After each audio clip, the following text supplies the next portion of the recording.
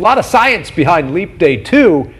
There would really be some major consequences if we didn't have leap day. Seasons would be completely changed as the years go on. And joining us now to talk about that, Fox 59 meteorologist Ethan Rosuck explaining to us how all of this works in the science. Yeah, there was actually a lot I didn't even realize when I was uh, digging deep about all of this here. And there are some times, it doesn't happen often, but it can, that leap years would not happen every four years. There is some math involved, and I'll show you exactly that. Yeah, in 366 days this year. It occurs usually every four years for the most part. Reason why these exist overall is because it keeps our calendar in sync with Earth's orbit. But Earth's orbit, it takes place over what they call a sidereal year, which is just over 365 days. In fact, it's 365.2422 days, aka you get an extra 5 hours, 48 minutes, and 56 seconds between actually 365 and then that number right there there.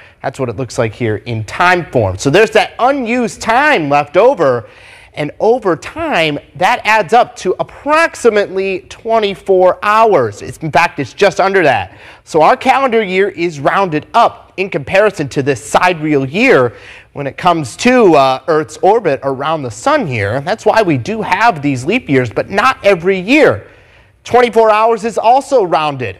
Technically, that would be around 23.2 hours. That's why not every four years is a leap year. This comes to us from the National Air and Space Museum.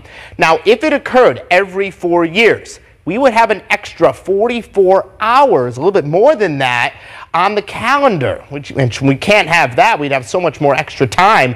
So the reason why some years aren't uh, leap years, even though it might be the fourth year in a cycle, the year has to be divisible by 100 and 400 to qualify here. And usually this takes place over the top of a century. So for example, 1700, 1800, and 1900, the tops of those centuries, there was no leap year because neither of those years qualify, not divisible by 100 and 400, but 2000 was. So we're going to have leap years every four years going forward here until the year 2100 because 2100 is not divisible by 100 or 400. That is what I learned uh, today, and that's because the uh, uh, timing is very much rounded up.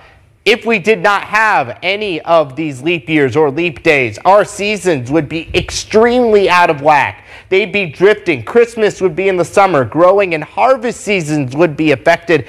Everything when it comes to our daily life on Earth would be extremely different compared to how we know it now. So even though only a few decimal places when it comes to the map makes it so different, it actually means quite a lot every four years for the most part, guys. Interesting. Yeah. I, I, had forgotten if I'd heard it at some point in the past that we skipped some leap years. Mm -hmm. But not till 2100. Right, so I, I just, hope my kids got to hear this because they may still be alive, like yeah, in their 80s then, and they'll say, "I remember when I was a kid." I'm like, Ethan this is thrilling and terrifying at the no same leap time. year in 2100. Ooh, now we know. I don't think either of us will be on your TV screens no, there. No, definitely Hopefully not. not. Or, or anywhere. Who knows? In existence on this well, planet. Happy birthday too to those right. that are with us on this leap year. Right.